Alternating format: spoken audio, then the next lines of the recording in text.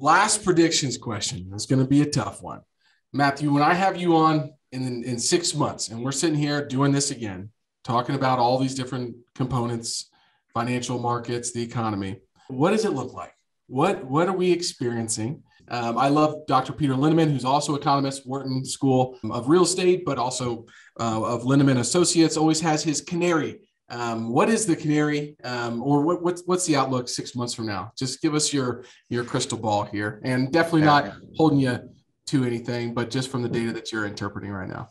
You know, I made jokes with people. It's much it's much easier not easier, but you know, it's hard enough to figure out like what has just happened, much less what's going on now, much less what's going to happen in six months. So, welcome to Invest for the Win, where we discuss strategies to win at the game of private investing. Whether you're a novice or a seasoned investor, tune in to hear experts break down complex topics and reveal emerging trends in private investing. Head over to investforthewin.com to find links to these episodes and additional content. Position yourself to invest for the win hosted by the founders of FTW Investments, Logan Freeman, Corey Tuck, and Parker Webb. On today's episode, we have Matthew Klein. Matthew is a financial and economic um, reporter and uh, journalist. He's written a book that is uh, widely held as a, a, top book in this uh, in this sector. We talk about so much today in regards to finance, the economy, Federal Reserve, uh, so many different important concepts to understand. We break down GDP, we talk about productivity, what the Fed should do, and uh, you can definitely check out Matthew's work at the Overshoot. But uh, phenomenal conversation. I felt like we could have gone for hours and hours today. I do think you're going to get some good insights. It's a nice, timely conversation. Thanks for tuning in to another episode of the Invest for the Win podcast. On today's show, we have Matthew Klein of Overshoot and is the founder and publisher of the Overshoot, a premium subscription research service focused on the global economy, financial markets, and public policy. Matthew's also the co author of Trade Wars Are Class Wars How Rising Inequality Distorts the Global Economy and Threatens International Peace. That book won the 2021 Lionel Gelber Prize and is listed as one of the best books of the year by Financial Times. It's pretty cool, man. His work is read around the world by central bankers, other top academics, government officials, and a wide range of investors and asset managers. Before launching the Overshoot, Matthew was the economist commentator at Barron's. Now I remember where I found out about Matthew. It was uh, from Barron's, actually. Um, so that's where it was. We were just talking offline about that. Matthew wrote previously for the Financial Times, Bloomberg View, and The Economist. Matthew lives in San Francisco with his wife, daughter, and cat. Matthew, I provided just a brief overview of who you are and a bit of your work experience, but I want you to hear how you found yourself in this line of work, researching and breaking down the economy and financial systems, which is not an easy thing to do. First of all, thank you, Logan, very much for the kind introduction and for having me on the podcast. Uh, it's a real pleasure to be here.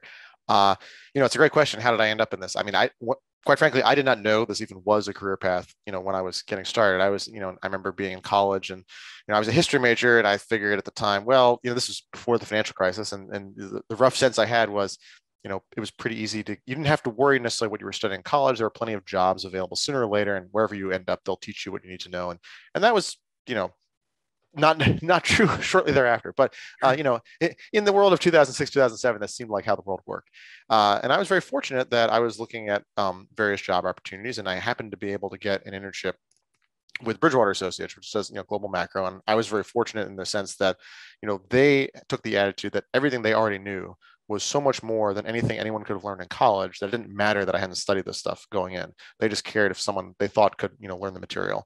And you know, I start there in the summer of 2008 as an intern. It was a fascinating time to be you know, getting introduction to global markets and the economy, how all this stuff works. And I just found it absolutely fascinating. Um, yeah. Just a really interesting set of puzzles. And like, I mean, for the first several weeks, I had no idea what was going on. It was actually very stressful and challenging, but it, you know, it starts to kind of seep in. I thought this is a really interesting stuff to, to figure out. It's really satisfying intellectually. And when the financial crisis happens, it wasn't even just that. It was also, this is really important things and a lot of people don't know it and you know quite frankly if people make mistakes about this stuff it can ruin a lot of people's lives and so that was sort of the beginning of when i decided i want to be in a more of a sort of a public facing you know interacting with the world role i mean it's obviously very good for people to be focused on the stuff internally but I realized that, you know, for better or worse, like I wanted to make it so that the broader, you know, a broader engagement with the public and hoping to influence policy. And, and there's a bit of a circuitous path to get in there and it took a, a few twists and turns but ultimately uh, was able to get into you know financial journalism and writing about these things and you know being able to sort of marry the the skills that i developed earlier on um, with you know data and having a sense of how the economy fits together with you know writing skills and so forth and and you know ended up here. That's uh, an incredible journey and um, I, you, you you did say bridgewater associates right? That's right all right, phenomenal. Because one of my questions uh, in today's episode is going to be all about that. So I'm excited about that. Love Ray Dalio and the work that he does, and uh, have read a lot of his books, especially his most recent book, which I'm sure uh, we'll talk about here soon. So you wrote a book, okay? So you were, um, you know, in the business, and then decided to to write a book. So trade wars are class wars. How rising inequality distorts the global economy and threatens international peace. What was the driving force that made you want to write that book? So I did not know at this point in time that I, I was capable of writing a book. I was I was fortunate. So this was a co-author book. I wrote it with Michael Pettis, and I you know I've been following his work for a long time. I was introduced to it basically right out of college at, at Bridgewater. They're big fans of him, and you know over the years I'd been reading his stuff, and he I was fortunate that he read things that I'd written at The Economist and the FT, and you know we developed a correspondence, and I realized that you know we had a very similar way of thinking about how you know the global economy fits together and how the pieces fit together, and, and you know we had sort of complementary um, skill sets for that would be that would be good for cooperating. And he actually pitched the idea of the book to me, uh, I guess, at the end of 2017, and you know that that was a period where obviously there's a lot of discussion about trade conflict and economic conflict, and and the view that we had was look, all this stuff is basically wrong. Even you know all the sides of the debate, whether you're in favor of it or not, like they're using the wrong kind of analytical framework. And we thought, there was really an opportunity for kind of breaking things down at a very basic level grounding it in history and in data and kind of making a story out of it and then explaining how these things actually work and how you should be thinking about about trade and economic conflict and then you know we wrote the book in the course of 2018 2019 and um, very gratifying to see that it was uh, very well received even if it came out right in the middle of the pandemic which was right. obviously not something not something we'd been anticipating but you know that's can't control things like that yeah, absolutely. And what do you think a few of the top takeaways that listeners can garner from the book? If they're not going to go read, I, I, love to read, so I will dive in, and I have dove in. Uh, but I'm, I'm curious, what are some of the top takeaways just from your perspective? Sure. So I think probably the biggest one is that prosperity is not a scarce resource, and the world should not be understood as this zero sum competition between countries where some people are going to inherently only do better if other people do worse. Mm-hmm. I think that's a very common misconception across a whole bunch of you know the political spectrum, and that's not that's not right. That, that for example, we say very explicitly, the reason why U.S. workers or a lot of U.S. workers were harmed by Chinese policies, certain policies from the Chinese government, was not because the Chinese government was doing things that benefited Chinese workers and Chinese consumers. It was actually that the Chinese government, for its own internal reasons, was doing things that were bad for many Chinese people. And that as a side effect of this, also ended up harming a lot of Americans. And that the beneficiaries were not just, you know, certain elites in China, but also certain elites in the United States. And so thinking about it from the perspective of the US versus China is just fundamentally the wrong way of looking at this. Um, the good news is that there are things that can be done that are beneficial for either everyone or at least the vast majority of the population. That's really the key takeaway of the book. Yeah, yeah. One one of the things that I pulled out of the book, and you could tell me if this is incorrect, but it seemed like the, some of the main points is that you know countries with large economic inequalities suffer from two related potential economic problems. One, underconsumptionist tendencies due to the inability of impoverished workers to buy all the output produced, and speculative excesses due to the accumulation of large pools of financial capital by high income individual and individuals and businesses. And I thought that that was a, a decent way to kind of think about, um, you know, setting the stage for uh, for the book. And it also emphasized the special advantages uh, enjoyed in burdens faced by the United States, which is very interesting to me due to the dollar's role as the world's reserve currency and the United States financial sector role as a safe haven, so to speak. And so one of the things that I, I have also read recently was uh, Paul Volcker's um, memoir, which I found very interesting to read, especially during uh, these times. And the reason I read that book was I saw him and Ray Dalio sit down for a, a conversation that they recorded and and he put out, and I, I thought, man, I'd, I'd, really like if Ray Dalio is saying this guy is his uh, one of his mentors and one of his um, heroes in life. I should probably uh, know a little bit more about him. And um, it was fascinating uh, to kind of hear uh, the way that the Federal Reserve's uh, focus was then and, and, maybe what it is now. And so I'm sure we'll touch on that today as well. So thank you uh, for one, taking the undertaking of, of writing a book and trying to you know, bring that to, to light. I think that's fantastic. And we've, we've talked a little bit about Ray Dalio, and I'm a big I'm a big Ray Dalio reader. In his most recent work, The Changing World Order, you know, Ray studied the rise and fall of all major dynasties and world powers and found that there's a big cycle that they follow. And for me, not being, a, you know, studying economics or anything in college, I love graphics and, and being able to understand things like that. And so the big cycle focuses on three main components big debt and debt monetization, internal conflicts over wealth and value gaps, and external conflicts. Most importantly, the rise of a great power to challenge the existing great power. And he describes that as China in his in his book. So, you know, he, and then he, he recently has taken up writing on LinkedIn, which I uh, very much enjoy and appreciate. Uh, but he says kind of he finds the United States in this current paradigm the, that the United States is spending a lot more money than it's earning and printing and taxing a lot. Secondly, that we have large wealth, value, and political gaps that are leading to significant internal conflict. And lastly, the potential being in, in decline relative to a, an emerging great power, and that's China. I wanted to ask you if you've read this book, Matthew, and um, if you um, agree with the sentiment, or what would your be your, your take on those prior comments? So I haven't read the whole book, but I do remember that as various chapters are being written, they got released on LinkedIn, and I have read a few of them. So this might not be a fully, uh, you know, comprehensive response. And if, if it's not the case, then you know, I'm sorry. My my general impression from what I had read is I think the model itself is, I think, plausible. I'm my question is I'm not sure necessarily how I would characterize the U.S. and China hmm. in the way that that he did in terms of in terms of this model. I'm I'm I, w- I would sort of put you know I think you can very plausibly put them either at similar positions or even potentially inverted ones, given you know depending on what specific factors you're looking at. Um, but that that's sort of my, I, I mean we can go into more details of why I might think that if, if you want, but um, yeah, he talked about. He's he's he's drafted um, kind of this model of uh, the country power index, right? So he's right. looking at all these different countries and have different indexes based on certain things that are happening um, in the you know in those economies. Well, some of that is data driven, I would say, but it, I think some people look at that, and when he released uh, the power index, it was um, somewhat subjective to his own his own uh, interpretation of that as well. And so, um, but it was really interesting to take a crack at that, and that is a huge uh, undertaking that he did, and I I found it to be extremely helpful in just understanding the history. I loved reading about. Yeah.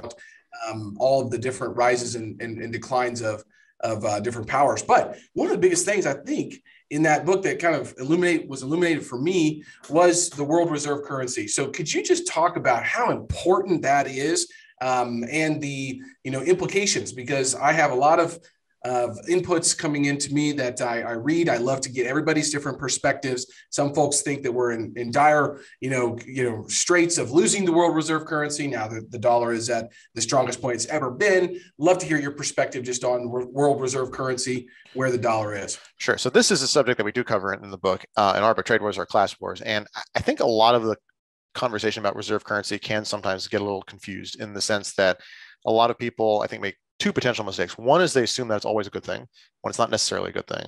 And the other thing is that they assume that it's fundamentally driven by the choices of the whoever issues this currency, when that's only sometimes the case. I think a much better model for thinking about this is that it's what do other people in the rest of the world want to do? And how do those choices affect the people who use this international currency as their, their regular domestic currency? You know, we use dollars, we live in the United States. The dollar financial system is ostensibly for us. But for whatever reason, there's a very, very large role played by people in the rest of the world in the dollar financial system. And that sometimes can have very negative consequences for Americans. Sometimes it's sometimes it's beneficial, but sometimes it's, it's harmful. And so assessing whether this is a good thing or not, I think is, is challenging. The other thing I'd make a, a point of as well, this is is that you can have multiple reserve currencies at the same time. The idea that there's only one at any point in time is not actually historically accurate. One thing I remember being surprised about when doing the research for trade wars are class wars is that in the 19th century, when you have this period, people think about sterling as, as the reserve currency. Is that that's not, I mean, sterling was, you know, the British British currency was probably the single most dominant one, but actually the US dollar was used outside the US. Um, German marks were used outside of Germany. French francs were used outside. I think even a little bit you see sometimes, um, you know, Russian rubles. And so you know how that worked and of course the most common thing was actually gold which wasn't issued by anybody um, and so you know thinking about like what is the reserve currency and how that benefits um, you know it, it, can be it can be challenging because after all if, if if one of the things that you do as a policymaker is think this reserve currency is important i have to defend the currency for the benefit of these people outside the country that might lead you to take pursue policies that will be harmful to people in your own country making the, the your currency stronger more expensive than it should be which basically means that on the one hand imports are cheaper, which if you need imports is valuable, but it also means that your exports are going to be much less competitive and that risks the possibility of essentially forcing a lot of your manufacturers out of business. Yeah. So what happened in, in the UK after the end of World War One, for example, is they wanted to maintain the, the status and preeminence of sterling throughout the British Empire. And they had good political reasons for doing this. Basically, a lot of savers in places like Canada and South Africa and India had effectively lent to the British government during World War One, and they and the people in you know the in the British establishment felt that those those savers should be rewarded and, and their savings be you know returned. But the flip side is that in doing so, their economy was so weak after the end of World War One. The only way they could do that was by keeping the currency, the pound, artificially expensive, and it ended up destroying the British economy. I mean, the 20s in the UK were actually much more painful than the 1930s, which is the inverse of what you saw in basically every other country. And that's a function of sort of misunderstanding what reserve currency can mean. So think about the context of the US. I think a lot of what's happened in the past several decades is that foreigners like the dollar for a lot of reasons, one of which is the openness and ease with which it, you can put money in the United States and the credibility of the legal regime, the fact that it's all in English, which is sort of the universal language of, of, of finance and, you know, the rich or whatever. And, and all those things mean that more money comes into the US to buy financial assets than necessarily can be supported. And so sometimes, you know, the, the most benign outcome here is that we just you know you, you build like billionaires row type situations in manhattan and then people buy empty apartments and that's kind of dumb but at least like you know no one's getting put out of work. The worst outcome is what happened you know in the 2000s where you have this enormous creation of mortgage debt by lending to people who shouldn't have been borrowing or shouldn't have been borrowing that much. Um, temporarily they're better off but then you know that's not sustainable and they end up going bankrupt they lose their house and then the whole economy you know collapses and that's obviously bad for everyone. So you know people say like the reserve currency is good or it's bad i mean i think it's really important to have this kind of context here and you know being aware what are the drivers mm-hmm. in the context of china i'm just going to briefly add that i i am not convinced that chinese government policymakers actually want to do the things that would make it possible for the yuan to be a reserve currency and i think they have good reasons quite frankly but it's not easy to put money into China necessarily. There are a lot of it's become easier in the past few years, but it's not easy. It's also not necessarily easy to get the money out when you want to, which is a crucial point. You know, property rights are not necessarily secure. There are a lot of rules and limitations there. And I think, quite frankly, if we were to look at places that might become not you know rivals to the dollar, but more you know comparable to the dollar in terms of international usage, I would think potentially there's more scope um, in the euro although even there there are a lot of issues that sort of prevent it in terms of the way we've seen them managing their sovereign debt crises and so forth. But i think there's you know we, if we have this kind of perspective on what makes a currency reserve currency you know for better or worse i do not see the dollar's position really endangered one way or another. Wow. I really appreciate you breaking that down and giving your perspective there. Very enlightening. So thank you for that.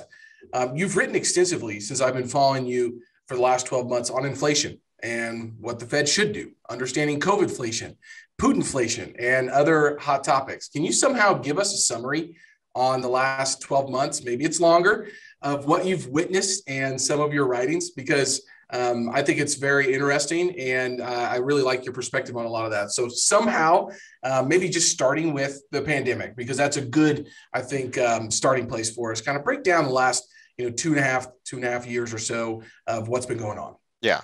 So I think I'm gonna I'm gonna zoom out even further a little bit and say that you know what what is inflation? Inflation is there's too much spending relative to how much stuff is available. And you know that sounds very simple, and I'm very confident that is the correct definition. The problem is both sides of that equation are very you know complicated and, and to be changed. Like how much stuff is available. You know, there's all sorts of different things people want. How much you know the extent that businesses can make more things when people want more is is not evenly distributed across the economy. Spending is not just how much money is in the bank or how much money people are paid, but also their access to credit and how much they can monetize you know home equity wealth or whatever. So it's complicated, but that's basically how I would think about it. What happened with the pandemic, I think, is very clearly that the amount of stuff that we were able to produce went down. And there's lots of things we can point to. At the same time, the mix of things that people wanted to buy changed very quickly.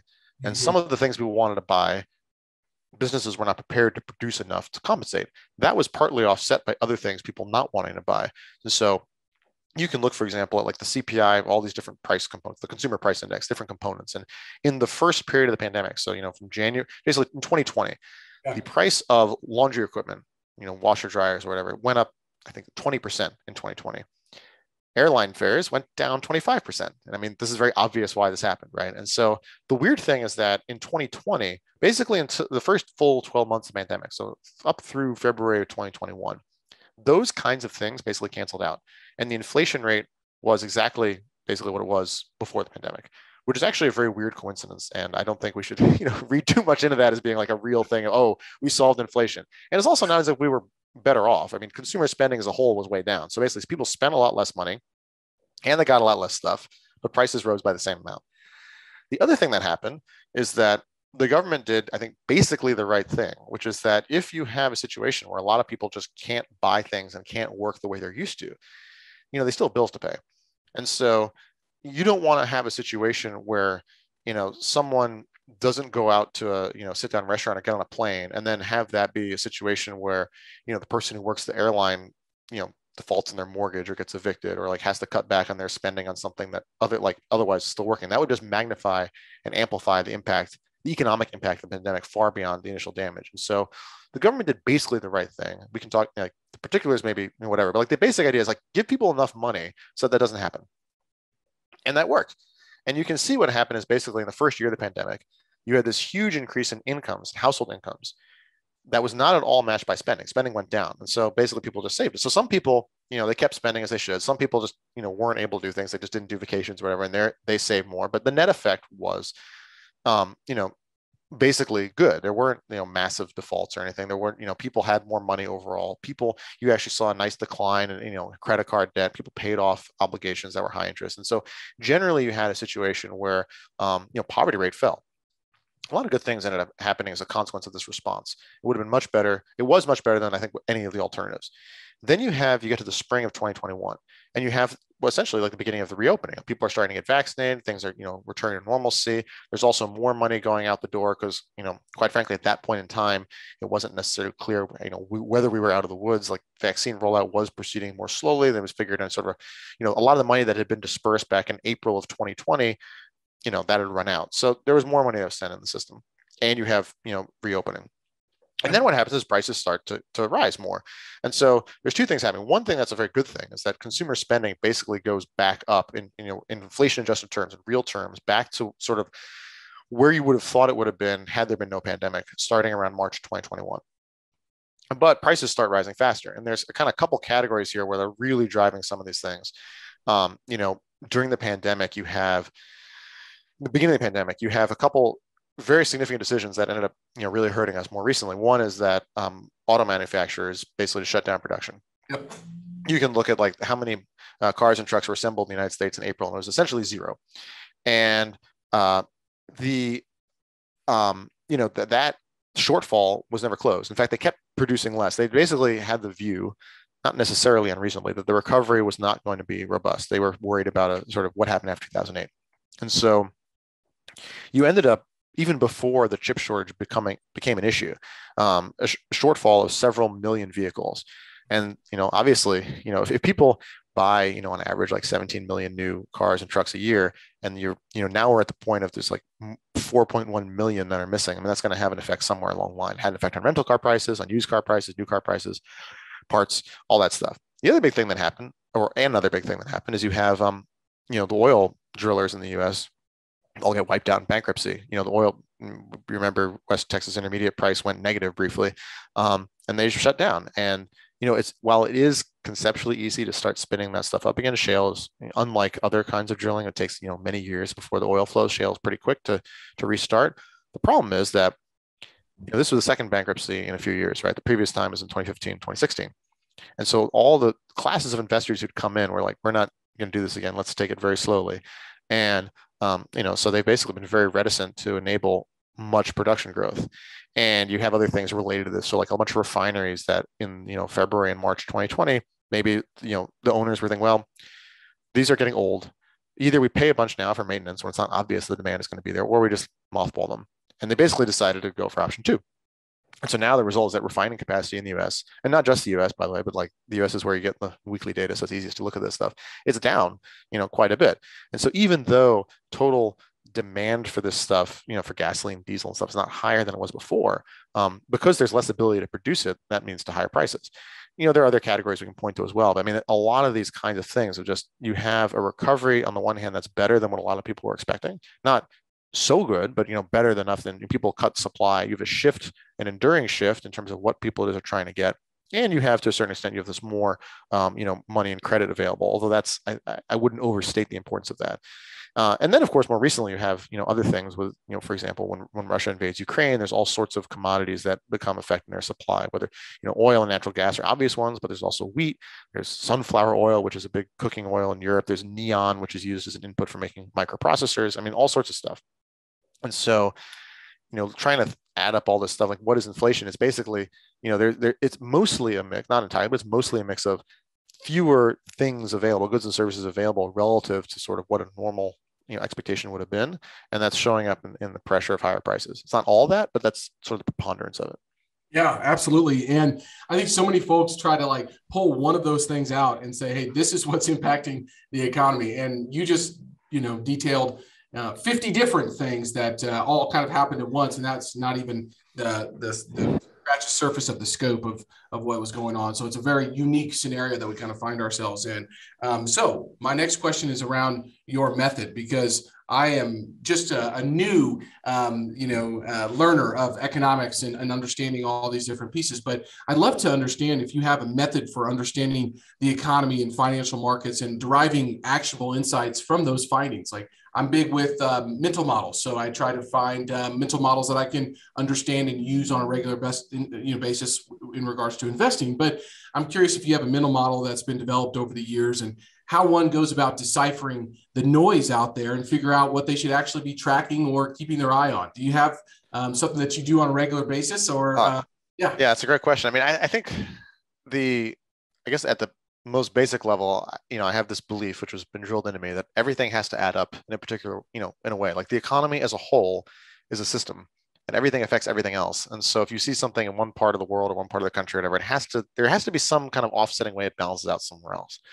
And so, that's a very helpful way for thinking through. If you look at you know a certain individual data point, putting that in context, you know, for example, like if the household savings rate goes up in the U.S you know there's only so many other way, like ways that that can happen in terms of what the sort of offsetting forces are. And so it's very helpful to kind of have this framework of how everything adds up. And i think that's probably at the at the most basic level i think it comes from you know this. And then the other thing is really knowing you know having an understanding and investing the time and knowing like what are the data? How are they collected? What are, what are the definitions that the people who are actually producing these numbers you know using here? Like how to you know and thinking about that and you know knowing how to interpret things that way. And it's really just I mean, the math is actually pretty simple. It's mostly, you know, addition, subtraction, maybe a little multiplication, division, but I mean, it's not, you know, it's mostly kind of conceptually like, okay, how do these things all fit together and how should we think about that? And that's, that's really kind of the method.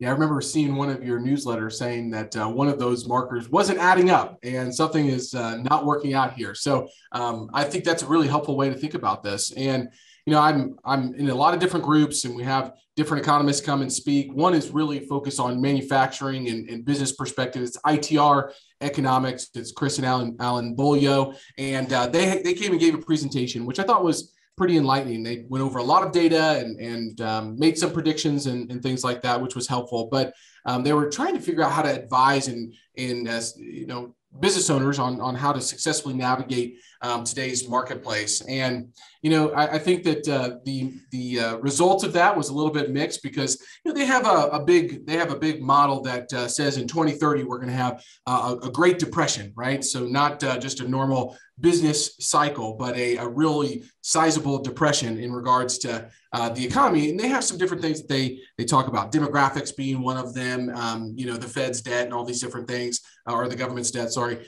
uh, and all these different pieces. But uh, I'm curious, do you get into, or how do you think about as a business owner um, right now, thinking about you know inflation, uh, interest rates, and um, un- low unemployment? uh, and, and trying to navigate what's going on in, in today's marketplace. Um, do you ever have those conversations with with business owners on on what they're uh, asking you these types of questions?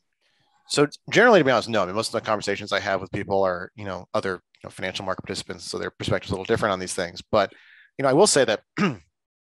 there's so much variety in what people are experiencing right now that I don't think it necessarily would be helpful to look at, you know, what is the national labor market showing on average or what is the national inflation on average for you know an, an, individual business? You know your own cost structure your you know ability to find workers and pay them or what have you and like your demand are all going to be i think probably very you know especially now i think there's so much variety and and, and variance um, now compared to what you know the average company is doing that is probably more helpful to be looking at those kind of specific factors um, as, as what i would say i mean like unless you're sort of in things like housing market where like that I can, you know, we can sort of very see, clearly like clearly see like what's going on there with mortgage rates. Otherwise, you know, there's so many different moving parts and, you know, very, you know, there's a lot of different forces that different businesses are being hit by. And so I would be cautious of using macro data to provide too much, you know, specific recommendations.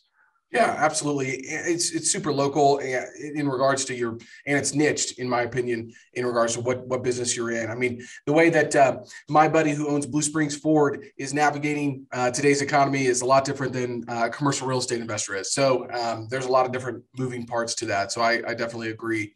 You know, one of the things that we're we're tracking a lot, and I love reading uh, Dr. Uh, Edward Yardeni's research, and and he he does a good job, I think, on a weekly basis, daily basis um, putting some good data out there and, and trying to understand, you know, what, what is a recession and are we in one? And are we headed for one? Is the Fed going to uh, be able to achieve a soft landing and all these things? These are the headlines that we hear, right? Um, so curious to get your perspective on what is the what is a recession? Um, and so many different people um, look at nominal GDP, real GDP. What is a recession? Are we in one? We don't know until we are. I just love to get your perspective on that. Yeah, no, absolutely. So, I mean, I'm pretty confident we're not in one right now. Um, but you know, what is the definition? I mean, the definition of a recession is you have a situation where economic activity, broadly speaking, so like business production, incomes, employment, all that stuff, has peaked and then goes down for a while, and then at some point it bottoms, and then you have recovery after that. That's that's essentially what it is. And so we have a lot of numbers available. You know, the GDP numbers come out once a quarter the inputs of GDP, most of those things come out once a month or even more frequently. So we can look like, you know, the government, the census will say like, okay, here's like the monthly trade balance, or here's like the inventory situation this month, or here's what home building is this month, or here's what manufacturing production is this month, or you know, here's what the job, you know, how many jobs are added this month, things like that. So you actually have a pretty good sense before the quarterly number comes out of, you know, broadly speaking, you know, are things going up or down? Sometimes you get things revised, so that's like one thing to bear in mind, but given how much um, employment is growing, given how uh, you know, and, and wages are, are still growing. I mean, wage growth is slowing, but I mean, this is not you know at the moment consistent with. Put it this way, it hasn't happened yet. It might be, it might very well happen. I mean, this is sort of where it gets your question about sort of soft landing and, and what the Fed's doing. So the Fed is basically of the view.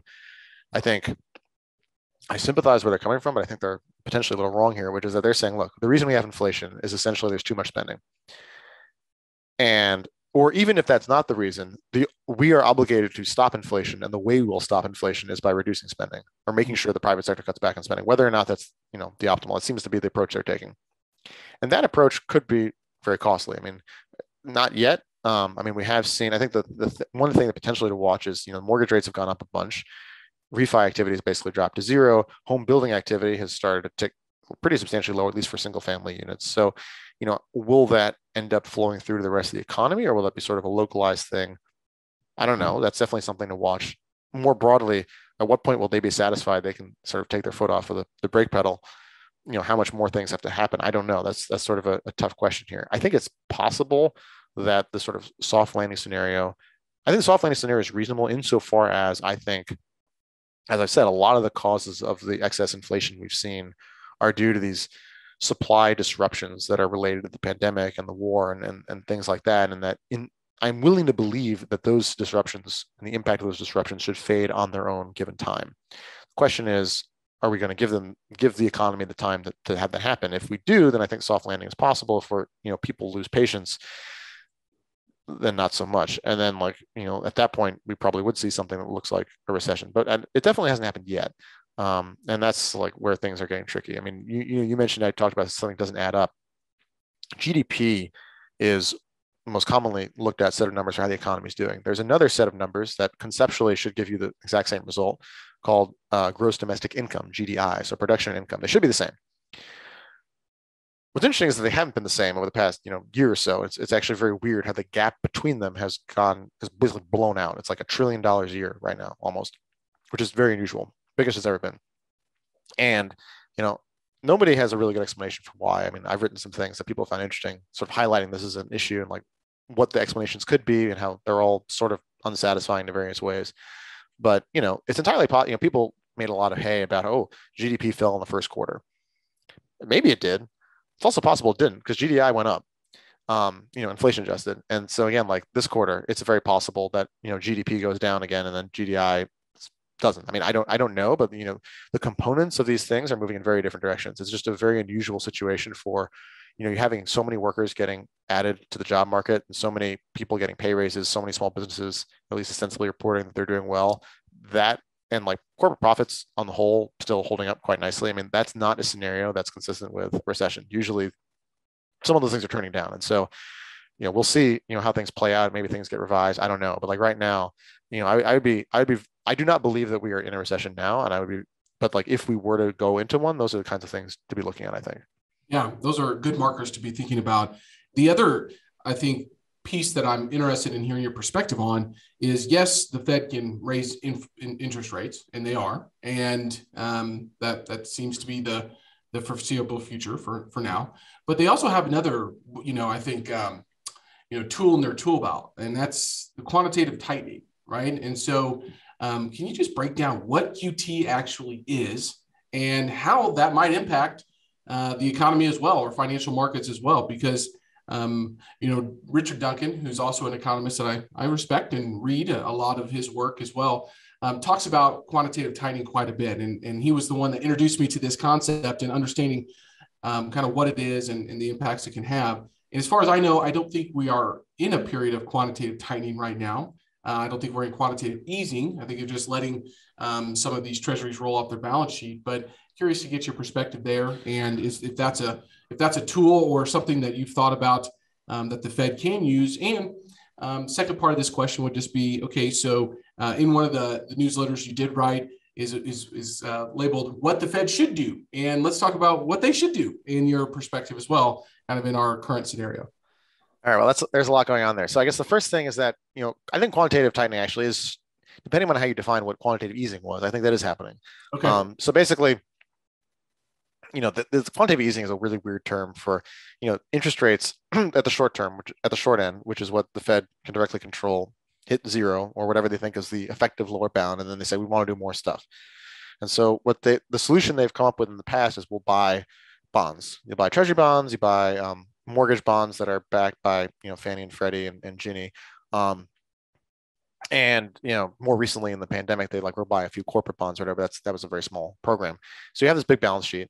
And then the question is you know what what does that do? Well one possibility is that lowers interest rates longer and longer in the curve. I think you know, one of the first pieces i wrote actually for the overshoot was looking at specifically what buying mortgage bonds did. And because of essentially because you can prepay your mortgage without paying a penalty that um, buying a mortgage bond exposes you to this weird kind of you know, prepayment risk. And so normally, if you're the private sector and you target a certain amount of volatility or duration or whatever as, as, a bond investor, you have to hedge that in various ways that makes interest rates higher for other things.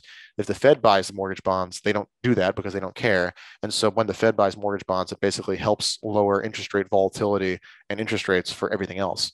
Um, which is not the normal argument you hear from people like, oh, they buy mortgage bonds to help the housing market. And it's like, well, buying treasury bonds helps the housing market too because it's housing is very interest sensitive. This is more specific channel. So like that was definitely a thing. And the extent that they stopped doing that, I think that will have an impact on rate vol and like rate vol's gone up a lot. So I mean, I think we've seen Absolutely. that. Uh, um, and uh, you know, so there's that side of it. And then there's sort of the what does it do to the you know the liability side of the, of the Fed's balance sheet. And and so the one thing people look at a lot, I don't know if it's the only important thing, but is you know bank reserves.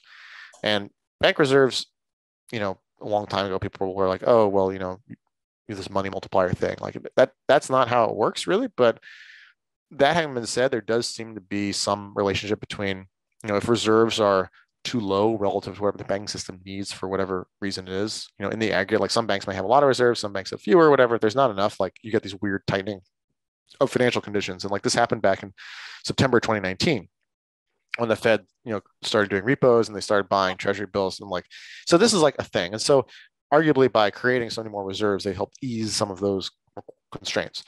Now, what's interesting is if you look basically since the start of this year, the amount of bank reserves in the system has fallen by about a trillion dollars. Now, the Fed's balance sheet has been flat, but that's basically because other things have been taking it up. So you've had more currency in circulation. That's not the main thing. Um, you've had a lot more deposits from the Treasury at the Fed. So basically, when the when the government collects taxes and they don't spend it right away, they, they put it in their bank, and their bank is the Fed. So basically, you can think of that as taking deposits from the commercial bank system, moving it to the, the Treasury. That's you know essentially a kind of tightening, right? Because it's not getting spent. Mm-hmm. Um, and you have a situation where and again, the Fed's been very open about encouraging this. People have been pulling money out of the banks to put them in money market funds. And this is where it gets interesting of like what the impact of that is, because you can sort of imagine two things. One is that it doesn't mean anything, right? Like I have money in one place, I have money in another place. Like I don't, there's no more money.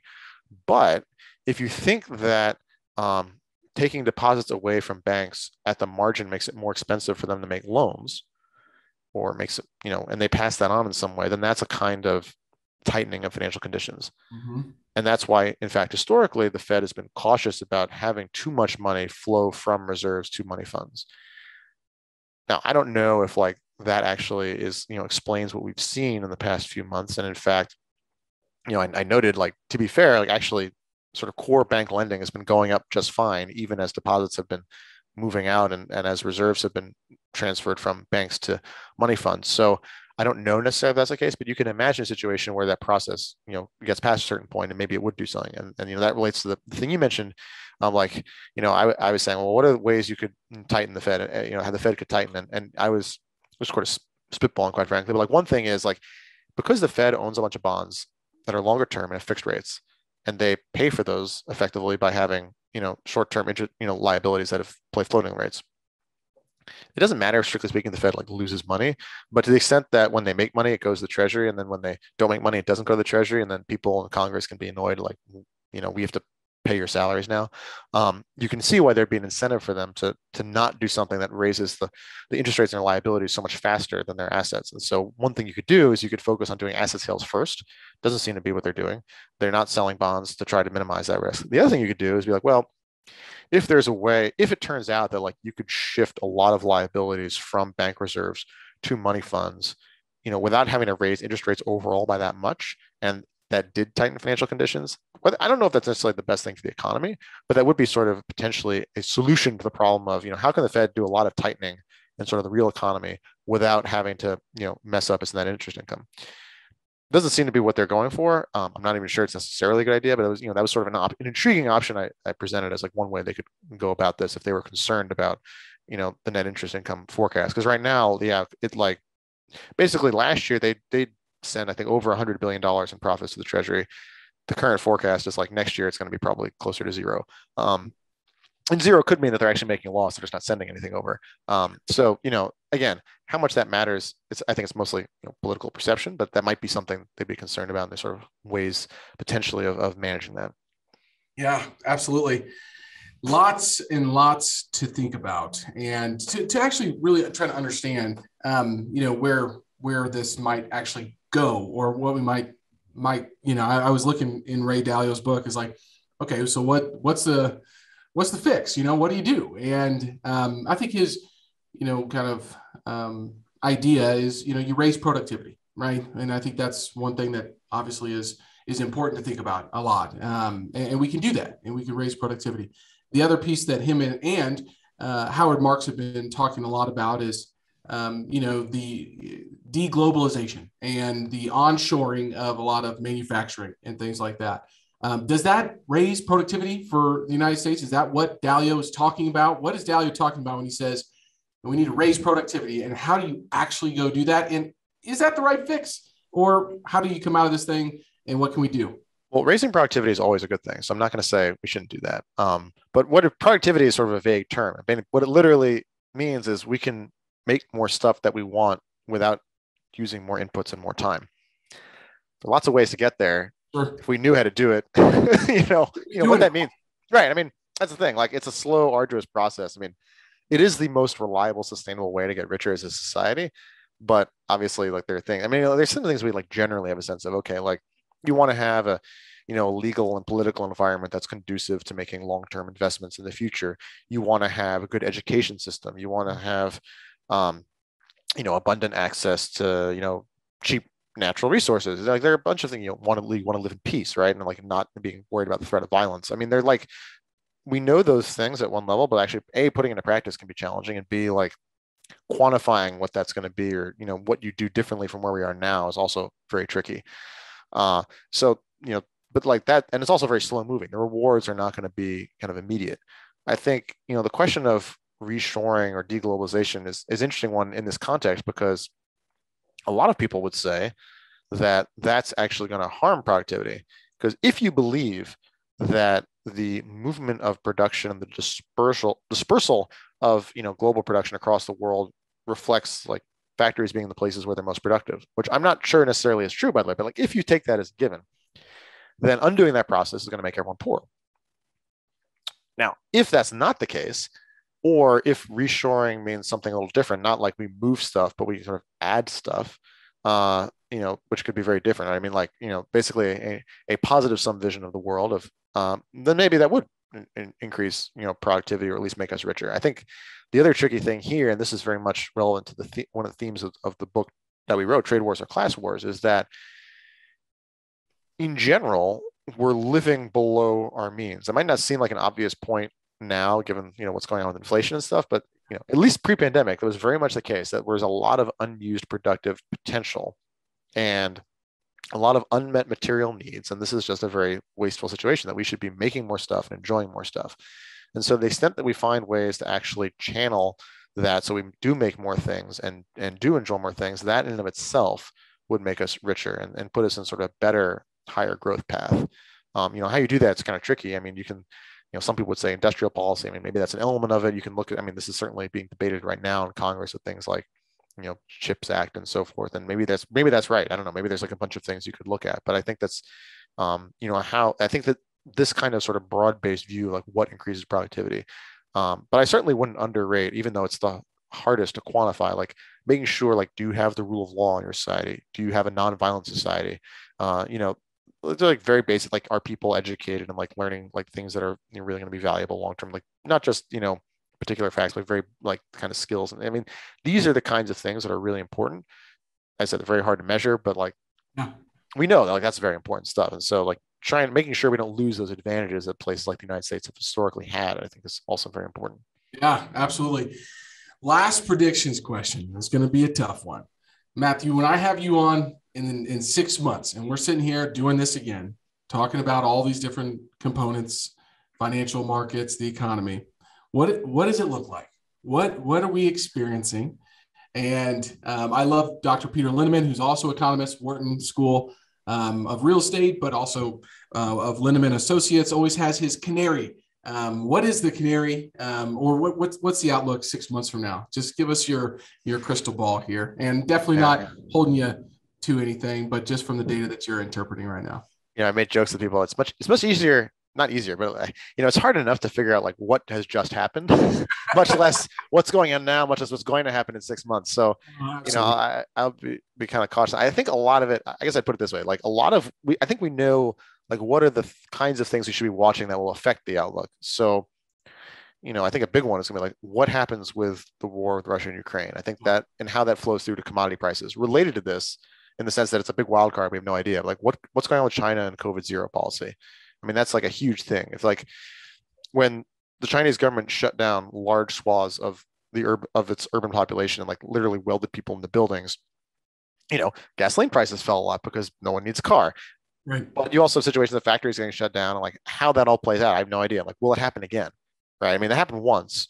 It's not clear by any means it's the last time. Not clear they've they definitely haven't gone back to fully open either. So this is like these are two very substantial wild cards that we just don't, I think, have a have a sense of. Um, you know how that's going to play out.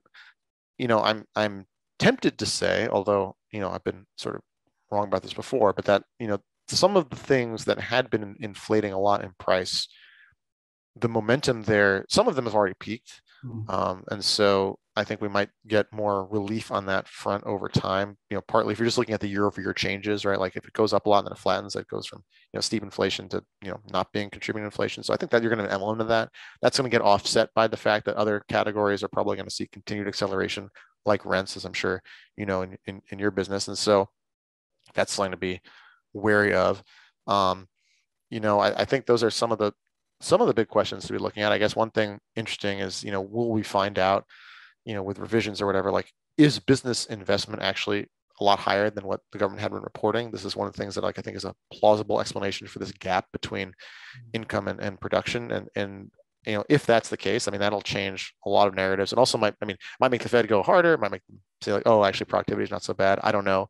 Um, but that's like something that these are like the kinds of things I think we should be should be watching out for. There's probably a zillion other things that, you know, six months from now we're gonna say, oh, we should have thought of that, but you know.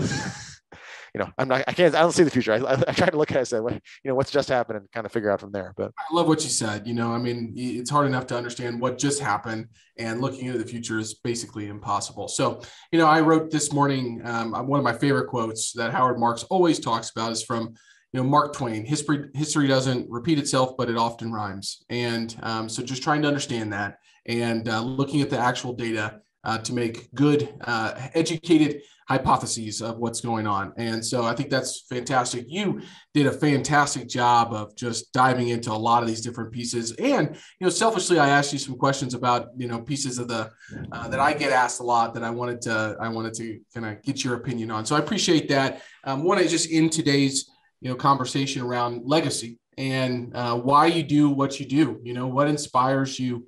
And I mean, this is not an easy topic that you have undertaken. I mean, I can see all the books behind you. I can't imagine how much you have to read on a regular basis to stay in tune, but I just really am curious why you do what you do and what inspires you, Matthew. Well, that's a great question, Logan. I mean, and as I said at the beginning, I mean, really the financial crisis was sort of a defining experience and living through that and seeing how so many people who, you know, wasn't their fault, right? They're just bystanders responding to the incentives that the markets were providing for them. And then they got completely hosed. And so, you know, not having that happen again and trying to, you know, I don't know if like I don't expect that like I can educate every person or whatever, like even that I would know necessarily what's right for every person, but at least being able to elevate the conversation and try to add more useful, valuable information to, you know, whether it's for policymakers or investors or, or ordinary consumers so that, you know, hopefully we don't have that kind of thing again because that was a total disaster. I think at the time was a disaster, and I think the long-lasting legacy of it was even worse in a lot of ways. What it did to our society and, and for the world, and so that's really, you know, trying to make sure that we don't have something like that happen again is really, you know, the main driver. Yeah, that's a fantastic mission. All right, Matthew, where can people find more about you and what you do? So I write the Overshoot. Uh, you can find it at theovershoot.co. Uh, it is available. You know, you search for that; it should be pretty easy to find. And and that's uh, you know what I write. I write about you know usually a couple times a week about the global economy, and markets, and uh, hope you can all check it out. It is phenomenal. Please go check out the Overshoot. It is one thing I look forward to seeing in my inbox every single week, and um, definitely uh, feel like I'm going to have you back on in six months, and we're going to revisit this conversation and see how it went. So, Matthew, thank you for your time and insights, man. I, I really know that our, our listeners are going to find this valuable, and I surely did. Thank you very much, Logan. Appreciate it. Thank you for tuning in to Invest for the Win. If you found this episode valuable, please take a moment to share it with a friend you think could benefit from the insights of our experts. Also, don't forget to take a moment to leave us a rating and review. Visit investforthewin.com to learn more.